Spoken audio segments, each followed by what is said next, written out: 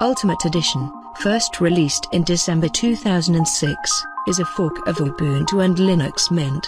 The goal of the project is to create a complete, seamlessly integrated, visually stimulating, and easy to install operating system. Single button upgrade is one of several special characteristics of this distribution. Other main features include custom desktop and theme with 3D effects, Support for a wide range of networking options, including Wi-Fi and Bluetooth, and integration of many extra applications and package repositories.